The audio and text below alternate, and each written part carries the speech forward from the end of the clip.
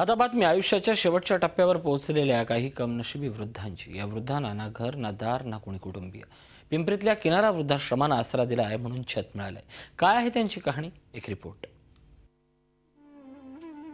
अतिशय कफल्लक अवस्थेत आयुष्याचा शेवटचा टप्पा जगत असलेले तब्बल दहा वृद्ध सध्या पिंपरी चिंचवडच्या रुपीनगरमधल्या किनारा वृद्धाश्रमात राहत आहेत.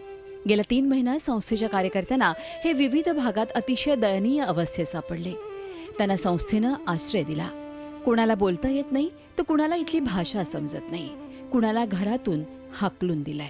इथे अतिशय आत्मीयतेने ह्या लोकांचा सांभाळ केला जातो. एकतर ते पहिली गोष्ट खूप ढासळलेल्या अवस्थेमध्ये इथे आलेले असतात. त्यांचं मा मनस्थिती त्यांची व्यवस्थित नसते. आणि त्यावेळेस त्यांना सावरून घेण्याचं काम आपल्या किनाऱ्यातल्या सर्व मेंबर्सवरती ती मोठी जबाबदारी असते. सध्या किनारा आश्रमात त्यांना निवारा मिळालाय. पण हे कोणाचे कुटुंबीय असतील त्यांनी त्यांना घरी घेऊन जावं आणि त्यांची काळजी घ्यावी असं आवाहन किनाऱ्याचे कार्यकर्ते करतायत.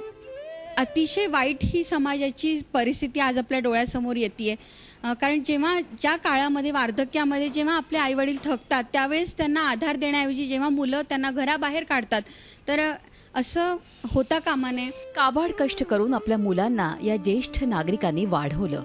मात्र आयुष्याच्या उतारवयात त्यांच्या नशिबी हालपेष्ट आल्यात. असं असलं तरी आजही त्यांच्या नजरा आपल्या लाडक्या मुलांच्या येण्याकडे लागल्या आहेत. Kailaspuri Zee media Pimpri Chinchwad.